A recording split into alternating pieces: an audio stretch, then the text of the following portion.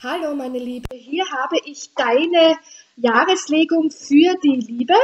Du wolltest eben nur wissen, wie es im Jahr 2017 in der Liebe weitergeht. Und da habe ich mir überlegt, ich lege die, ähm, das eine der Liebe-Orakel aus und schaue für jeden Monat, wie es hier bei dir in der Liebe weitergeht. Ich starte gleich mit dem Januar.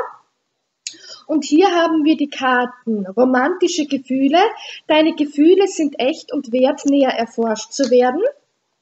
Bleibe aufgeschlossen, dein Seelengefährte unterscheidet sich vielleicht von deinem normalen Typ und deinen Erwartungen. Und dann haben wir Befreie dich. Es ist Zeit, die Kontrolle über dein eigenes Leben zurückzuholen. Das heißt, weil du ja auch geschrieben hast äh, bezüglich Seelengefährten, ja, also er ist hier definitiv dein Seelengefährte. Es kann auch sein, dass er ähm, so ganz anders ist als der Typ, den du bis jetzt bevorzugt hast. Also hier hast du auch die Bestätigung, dass er dein Seelenpartner ist, dein Seelengefährte und du sollst auch weiterhin aufgeschlossen bleiben, was diese Dinge betrifft. Es sind hier auch Gefühle da, also sowohl von seiner als auch von deiner Seite, da sind einfach gegenseitige Gefühle da, aber du wirst im Jänner auch aufgefordert, dich zu befreien. Es ist Zeit, die Kontrolle über dein eigenes Leben zurückzuholen. Das heißt, dass du dich ein Stück weit auch von dem Ganzen hier distanzierst, auch weiterhin. Ich weiß ja, dass du ähm, den Kontakt zu ihm abgebrochen hast, aber nichtsdestotrotz haftet dieses Thema noch sehr bei dir. Und da solltest du dich auch wirklich befreien. Klar, es ist eine Seelenpartnerschaft, es sind Gefühle da, aber im Januar wird es so sein, dass du dir zu viele Gedanken jetzt über dieses Thema machst und hier dein eigenes Leben ähm, vernachlässigst unter Anführungszeichen. Also im Januar wird dir schon bewusst, ähm, dass hier gegenseitige Gefühle da sind. Aber wie gesagt, du sollst dich auch hier befreien und nicht ähm, dich zu sehr auf dieses Thema konzentrieren und dabei wirklich andere Dinge des Lebens vernachlässigen. Also das wird dir auch im Januar bewusst werden, dass du dich auch davon befreist und dir nicht so viele Gedanken über sein Leben machst, weil ähm, ich habe ja auch rausgelesen, ähm, es gibt hier noch eine Ex-Partnerin, wo es Schwierigkeiten gibt und da machst du dir einfach zu viele Gedanken. Du machst dir hier zu viele Gedanken, was du eigentlich nicht ändern kannst. Das ist seine Angelegenheit und du sollst dich im Januar wirklich davon befreien. Natürlich ist es klar, dass das nicht einfach ist, weil ihr eben Seelenpartner seid.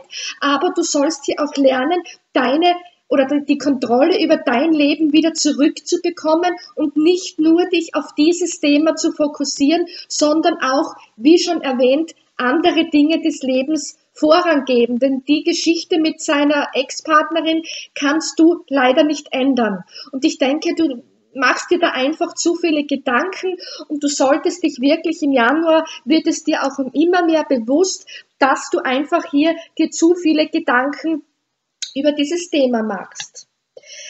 Im Februar sagen uns die Engelkarten, lass Kontrollthemen los, erlaube dieser Situation sich ganz natürlich zu entwickeln. Trennung, eine vorübergehende Trennung von deinem Partner ist in Sicht und des Wartens wert. Göttliches Timing bestimmt dein Liebesleben.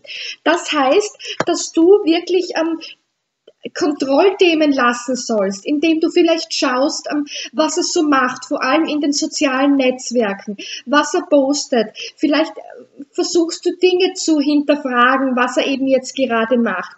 Das sind alles so Kontrollthemen, die dich im Februar ähm, heimsuchen werden, hätte ich gesagt. Du sollst diese Kontrollthemen loslassen, du sollst dieser Situation ähm, den natürlichen Gang geben lassen. Also, dass hier wirklich etwas in Gang kommt, ohne dass du hier versuchst, die Kontrolle über das Ganze zu bekommen. Also, dass du wirklich hier auch diese Kontrollthemen, das immer wieder hinterfragen, was er macht, vielleicht auch wirklich unbewusst, das ist jetzt nur ein Beispiel, zum Beispiel über WhatsApp, wann er online ist oder auf Facebook. Das sind eben solche Kontrollthemen, mit denen du im Februar konfrontiert wirst. Es wird auch hier dann eine Trennung stattfinden. Also du wirst diese Kontrollthemen auch wirklich loslassen. Es wird auch im Februar die Trennung aktiv zu ihm sein. Also da wird kein Kontakt zwischen euch beiden stattfinden. Und wenn, dann wird er nur kurzfristig sein und man wird hier wieder in den Rückzug gehen. Und du wirst auch aufgefordert, ähm, zu warten, denn göttliches Timing bestimmt dein Liebesleben. Du hast hier leider Gottes über diese Situation nicht die Kontrolle. Das wird von oben gelenkt und wenn es soweit sein soll, dass ihr Kontakt haben werdet, dann wird das auch passieren. Aber du sollst hier auch die Kontrolle abgeben, denn göttliches Timing bestimmt dein Liebesleben und im Februar sieht es so aus, dass es hier eben zu einem Rückzug kommt, vielleicht eben, dass dieser Rückzug, den du angegangen bist, schon, dass sich der wirklich bis im Februar hin ähm, so ziehen wird, dass der, die, die Trennung zu ihm bis Februar Bestand hat. Oder wenn in der Zwischenzeit ein kurzer Kontakt ist, möchte dir diese Karte sagen, dass es dann eben wieder in den Rückzug gehen wird.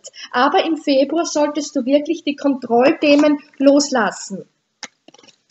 Der März sagt dir Verlobung, dein Liebesleben erreicht eine neue Stufe der Hingabe. Leidenschaft, erlaube deinem Herzen und deiner Seele vor Freude zu singen. Und Versöhnung, jemand aus deiner Vergangenheit kommt erneut in dein Leben. Das heißt für mich, dass dein Herzensmann wieder in dein Leben kommen wird. Im März. Es wird zu einer Versöhnung kommen. Ihr werdet auch eine höhere Stufe erreichen. Ähm, und es wird natürlich auch Leidenschaft zwischen euch vorherrschen. Ihr zieht euch quasi magisch an. Wenn du ähm, darauf wartest, dass er sich meldet, kann ich dir das sagen, das wird im März passieren. Denn jemand aus deiner Vergangenheit er kommt erneut in dein Liebesleben weil er ja quasi jetzt nicht aktuell in deinem Leben ist und du natürlich auf, äh, nach deinem Herzensmann gefragt hast, sagt für mich diese Karte eindeutig, dass er im März hier auf dich zugehen wird. Das wird auch sehr leidenschaftlich und ihr werdet auch sehr schöne Zeiten haben. Und ihr werdet natürlich eine höhere Stufe erreichen. Wahrscheinlich auch, weil es eben bis jetzt oder bis im Februar diesen Stillstand gibt. Man kann nachdenken, man ähm, überlegt, wie man weitermacht. Und im März ist es quasi dann soweit, dass ihr wieder Kontakt haben werdet. Und wie ich schon gesagt habe, hier im Februar, göttliches Timing bestimmt dein Liebesleben. Und das göttliche Timing ist hier im März. Also im März schöne Zeiten mit deinem äh, Seelengefährten und eben auch diese Versöhnung und diese leidenschaftliche Zeit. Also hier geht es dann schon in eine positive Richtung. Schauen wir uns den April an. Liebe zuerst dich selbst. Deine Selbstachtung macht dich attraktiver für die Liebe. Lass dir von deinen Freunden helfen. Bitte andere um Unterstützung und nimm sie an. Und die Chemie stimmt. Es besteht eine starke magnetische Anziehung. Also im April ähm, ist das Thema Selbstliebe bei dir wichtig. Du sollst dich auch selbst lieben und dich nicht kleiner machen, als du bist. Ja, ähm, aber du sollst hier auch wissen, dass die Chemie zwischen dir und deinem Herzensmann einfach stimmt. Da sind Gefühle da, das wird dir immer mehr bewusst, vor allem ab März. Aber auch die Selbstliebe ist bei dir wichtig. Du versuchst dich immer wieder in den Hintergrund zu stellen. Aber es ist auch wichtig, dass du dich selbst liebst, denn so wirst du natürlich auch attraktiver für deinen Herzensmann. Wenn du einfach zu dem stehst, so wie du bist, dass du dich selbst so akzeptierst, wie du bist, und dann bist du natürlich attraktiver auch für dein Gegenüber. Wenn du das nicht so schaffst, diese Selbstliebe, das ist ja klar, ähm, so, äh, raten dir die Engel, dich von Freunden unterstützen zu lassen, dass du hier Hilfe annimmst. Hilfe von außen kann, muss natürlich nicht immer Freunde sein, sondern vielleicht, ähm, was weiß ich, Meditationen, dass du Menschen aufsuchst, die hier meditieren gemeinsam mit dir oder einfach die dir lernen, äh, mehr in die Selbstliebe zu gehen. Also wenn du hier Unterstützung brauchst, sollst du diese Unterstützung suchen und auch annehmen. Aber sei dir gewiss, dass dein Herzensmann für dich Gefühle hat. Und ab März haben wir schon gesehen, geht es in eine sehr, sehr gute Richtung. Im Mai sagen dir die Karten Past Life Beziehung. Ihr habt euch schon früher gekannt. Neue Liebe, eine neue Person hat deine romantischen Gefühle aufgewühlt. In Bälde entscheide klar, was du willst, damit es jetzt zu dir kommt. Das heißt, du und dein Seelengefährte, ihr kennt euch von früheren Leben, ihr habt früher schon mal zusammen gelebt. Das ist natürlich oft der Fall bei Seelengefährten. Es kann aber jetzt auch sein, dass im Mai jemand Neues in dein Leben kommt und deine ähm, Gefühle durcheinander bringt, ja, weil du dann plötzlich zwischen zwei Männern stehen wirst. Und dann wirst du im Mai aufgefordert, dich zu entscheiden. Entscheide klar, was du willst, damit es jetzt zu dir kommt. Wenn aber jetzt dieser ein neuer Mann nicht in dein Leben kommt, dann wird die Liebe zwischen dir und deinem Seelenpartner wieder neu entfacht. Da, wird, da werden wieder neue positive romantische Gefühle zwischen euch stattfinden. Das ist natürlich auch möglich. Aber weil wir ja hier die Karte Entscheidung haben, kann es wirklich sein, dass jemand Neues in dein Liebesleben kommt, wo du dich dann einfach hier entscheiden musst. Also das ist jetzt der Mai. Dann haben wir den Juni. Wahre Liebe, dies ist die Liebe deines Lebens. Du verdienst es, geliebt zu werden, du bist liebenswert. Und Hochzeit. Diese Situation hat mit Hochzeit zu tun. Auch das finde ich eine, eine sehr, sehr schöne Botschaft für den Juni. Hier sieht man schon, dass du und dein Seelengefährte, dass das einfach die wahre Liebe ist. Das ist ja auch klar. Und ähm, ihr werdet eine höhere Stufe erreichen. Ich gehe jetzt einfach davon aus, dass du dich dann einfach für deinen Seelenpartner entscheiden wirst, wenn hier ein neuer Mann in dein Leben kommt, weil dein Seelenpartner einfach die Liebe deines Lebens ist. Und du wirst auch merken, dass du liebenswert bist. Du wirst das auch selber spüren, dass er Gefühle für dich hat. Du wirst es dann nicht mehr hinterfragen. Und ihr werdet, die Hochzeit bedeutet ja nicht immer Hochzeit in, die, in dem Sinn, also so wie sie abgebildet ist mit der Ehe, sondern auch ähm, kann auch eine Hochzeit sein, dass wirklich schöne, dass wirklich eine schöne Zeit auf dich zukommen wird. Und ähm, das finde ich sehr, sehr schön, was jetzt dich und deinen Herzensmann betrifft. Ja, also du kannst dich wirklich ab ähm, März, ja, ab März wird es mit deinem Seelengefährten in eine positive Richtung gehen, vor allem hier im Juni.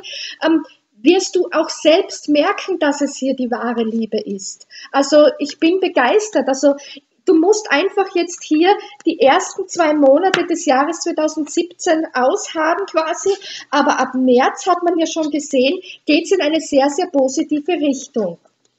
Der Juli sagt dir Probleme in der Familie heilen. Dein Liebesleben profitiert davon, wenn du deinen Eltern vergibst. Seelengefährte, ja, dies ist dein Seelengefährte. Lass deinen Ex-Partner los. Die Zeit ist gekommen, deine Energien zu klären.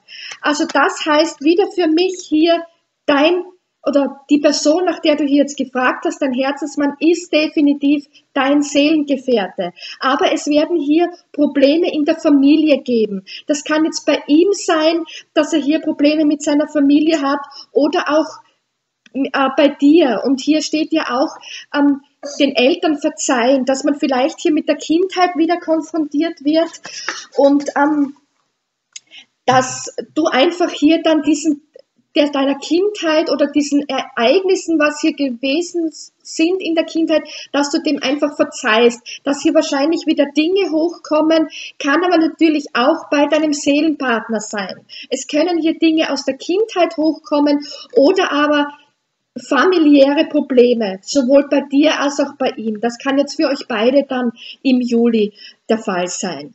Und dann haben wir noch, lass deinen Ex-Partner los. Das kann für dich sein, dass du hier im Juli aufgefordert wirst, deinen Ex-Partner loszulassen, weil hier eben auch familiäre Probleme der Fall sind oder ähm, dass das auf deinen Seelenpartner zutrifft. Du hast ja gesagt, er hängt irgendwie noch an der Ex-Partnerin oder da gibt es Schwierigkeiten. Und da wird er aufgefordert oder er wird im Juli aktiv seine Ex-Partnerin loslassen.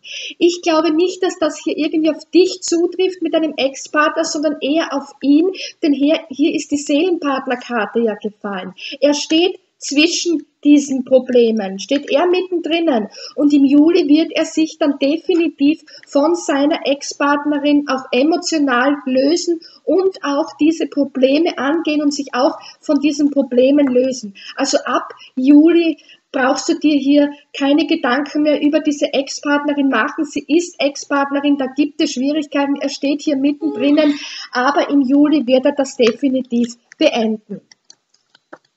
Im August haben wir die Karten Anziehungskraft, du ziehst romantische Liebe an, indem du diesen Moment voll genießt. Dann haben wir, dies könnte der richtige sein, du bist dem Liebespartner, den du suchst, bereits begegnet und Finanzen und Karriere. Finanzielle Probleme wirken sich jetzt auf dein Liebesleben aus.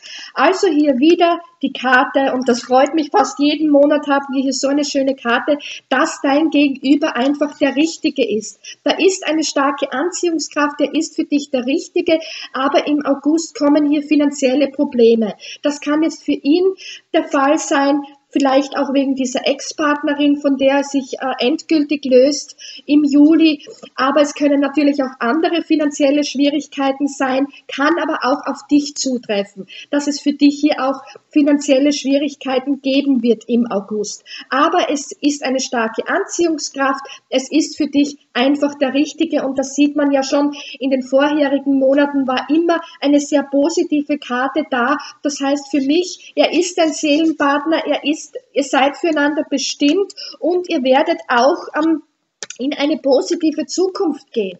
Aber im August ist halt das Finanzielle auch vordergründig. Im September haben wir dann Flitterwochen. Genieße die Ekstase eurer festlichen Zeit zusammen. Bringe deine Liebe zum Ausdruck, sei mutig und gehe einen Schritt auf deinen Wunschpartner zu und Gespräche von Herz zu Herz. Sprecht ehrlich miteinander über eure Gefühle. Also im September werdet ihr auch schöne Wochen miteinander verbringen. Du wirst hier auch aufgefordert, deine Liebe zum Ausdruck zu bringen. Auch er wird dir deine Liebe, also, also seine Liebe im September zum Ausdruck bringen. Aber ihr werdet auch sehr schöne, tiefgehende Gespräche führen. Gespräche von Herz zu Herz. Ihr werdet hier ehrliche Gespräche führen, ihr werdet auch über eure Gefühle sprechen und das finde ich sehr, sehr schön. Also auch hier eine sehr schöne Tendenz für den September. Im Oktober haben wir die Karten religiöse Faktoren. Dein Liebesleben wird von deiner religiösen Erziehung und deinem spirituellen Weg beeinflusst. Dann haben wir Rückzug. Es ist Zeit, dich von der Welt zurückzuziehen. Und wir haben Täuschung. Jemand in dieser Beziehung verbirgt sein wahres Selbst unter einer Maske. Das heißt, dass hier schon religiöse und spirituelle Faktoren eine Rolle spielen. Es kann auch sein, dass man genau deswegen hier in den Rückzug geht, also dass jetzt entweder du in den Rückzug gehst im Oktober oder er in den Rückzug geht. Ähm, oder ihr beide zieht euch gemeinsam zurück. Ja, aber ich glaube eher, dass hier einer von euch beiden sich im Oktober zurückziehen wird. Ähm, aber das ist hier Täuschung. Also das ist hier dann auch ein Schutz, dieser Rückzug. Also sei jetzt nicht traurig, wenn es im Oktober zu diesem Rückzug kommt. Das muss jetzt so sein. Das hat auch einen spirituellen Hintergrund, denn bei Seelenpartnern hat man ja oft auch eine sehr starke Lernaufgabe und oft sind Rückzüge auch ein Teil dieser Lernaufgaben. Also kommt es eben zu diesen Rückzügen, weil es einfach kommen muss und ähm, weil man dadurch dann einfach eine Schutzmauer aufbaut. Also er kann sich hier vielleicht zurückziehen oder du, dass du dich hinter dieser Maske verbirgst oder dass ihr beide euch gemeinsam von der Welt auch zurückzieht, um Zeit miteinander zu verbringen. Aber ich würde eher hier sagen, dass dies jetzt wieder eine Lernaufgabe im Oktober sein wird, dass es hier zu einem kurzfristigen Rückzug kommt, weil das eben hier auch eine spirituelle Aufgabe ist.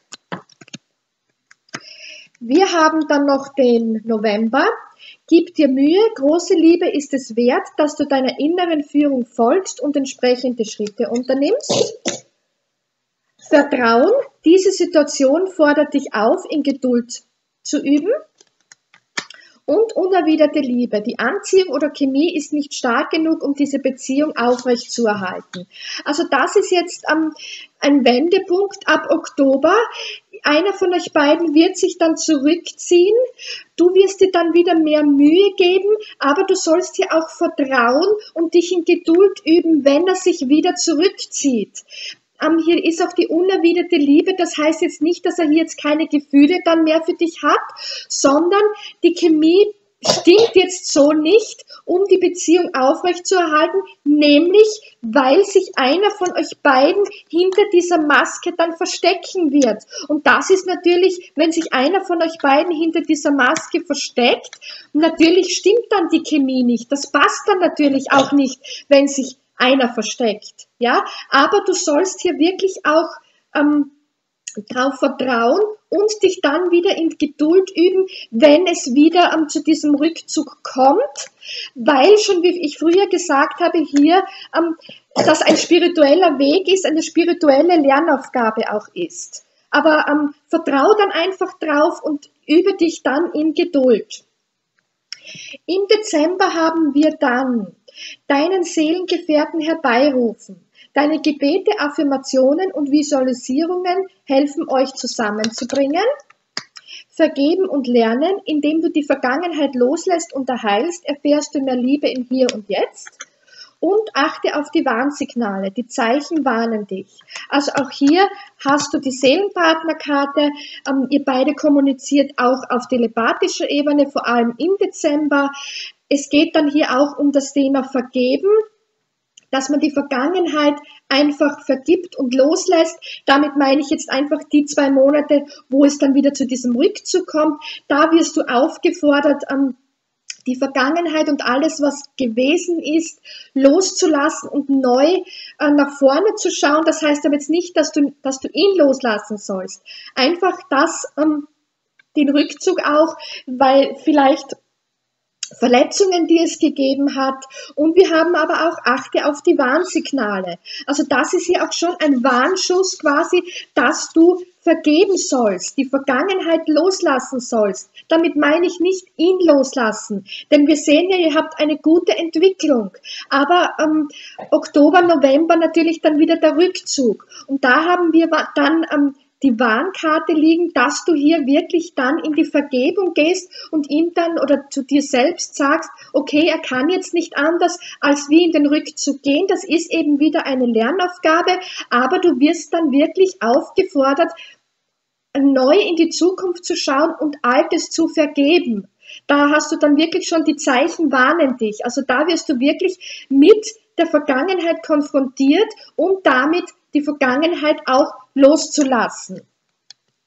Und ähm, alles in allem sieht diese Jahreslegung sehr gut aus. Wir haben gesehen, Jänner, Februar ist noch ähm, Rückzüge da, also andere Themen, aber ab März bis Oktober geht das in eine sehr positive Richtung. Dann haben wir zwar wieder die Rückzüge, aber wie schon gesagt, das ist eine Lernaufgabe. Er hat Gefühle für dich. Er empfindet das gleiche für dich wie du für ihn. Ihr seid einfach Seelenpartner, das täuscht dich nicht. Und natürlich das wichtigste Thema ist seine Ex-Partnerin, auch die wird er hier loslassen. Und dann ähm, geht es natürlich ähm, sehr schön weiter, dass ihr schöne Gespräche haben werdet, aber wie gesagt, hier auch dann wieder die Lernaufgabe mit den Rückzügen. Aber du kannst hier definitiv hoffen, dass es mit ihm wirklich in eine positive Richtung geht, auch wenn es dann wieder kurzfristig zu diesen Rückzügen kommt. Das ist einfach das, wo du dann hier auch daraus was lernen sollst. Aber ein, ein sehr, sehr schönes Jahr, auf das du dich auf jeden Fall freuen kannst. Jetzt ziehe ich zum Abschluss noch eine Karte aus den Antworten der Engel-Orakel mit der Frage, ob es sich lohnt, ähm, an dieser Bindung festzuhalten. Also es sieht schon so aus, dass sich das wirklich lohnt, aber ich möchte hier jetzt noch eine Zusatzkarte für dich als Zusatzbotschaft, was du quasi wissen sollst. Ja, perfekt schon. Nehmen wir gleich diese Karte. Suche nach einem Zeichen. Also das ist wieder das, was ich gesagt habe, dass ihr Seelenpartner seid, dass ihr wirklich auf telepathischer Ebene auch miteinander kommuniziert und du sollst einfach nach Zeichen suchen. Ähm, was immer das für dich auch bedeutet, ähm, präge dir diese Karte ein, suche nach einem Zeichen und jetzt überlege dir, was dir diese Karte sagen möchte. Ich wünsche dir ein wunderschönes Jahr 2017. Wenn du noch Fragen hast, schreib mir einfach eine Mail. Ich wünsche dir alles Gute. Ciao.